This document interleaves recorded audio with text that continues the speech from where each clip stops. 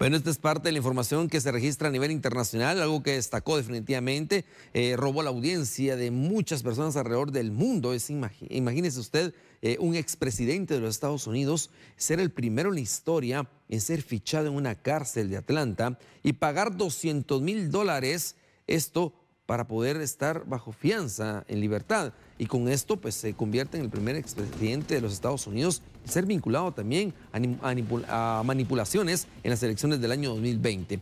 Con esto, pues Donald Trump, antes de subir al avión que lo llevara de nuevo a Nueva Jersey, pues dio declaraciones al mundo. Y estas son precisamente sus declaraciones después de abandonar la cárcel de Atlanta. Escuche, esto es precisamente al momento que ingresa Donald Trump al área de la prensa. Muchas gracias por estar aquí. Realmente creo que este es un día muy especial, triste para los Estados Unidos. Esto nunca habría pasado. Si desafías la elección, pues desafías una elección.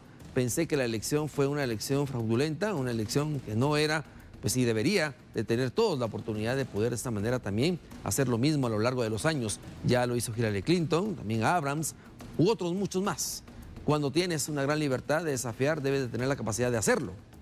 De lo contrario, vas a tener elecciones injustas. Lo que ha sucedido es una injusticia ahora conmigo.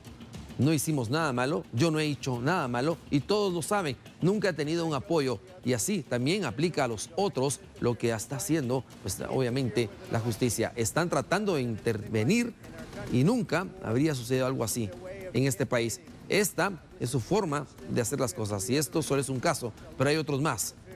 Interferencias en la elección, así que quiero agradecer a todos por estar aquí. No hicimos nada malo en absoluto y tenemos todo el derecho, todos y cada uno de ustedes, en desafiar la elección si creemos que ha sido deshonesta que creemos que es muy deshonesta. Y esto es lo que ha hecho. Nunca ha hecho nada malo. Esto es parte de lo que ha indicado el expresidente Donald Trump antes de subir a su avión y regresar a Nueva Jersey, después de haber estado precisamente pues, ingresado a una cárcel, ser fichado, fotografía de frente, fotografía precisamente también de lateral. Esto es lo que ocurre ahora, primera vez en historia definitivamente de los Estados Unidos de Norteamérica.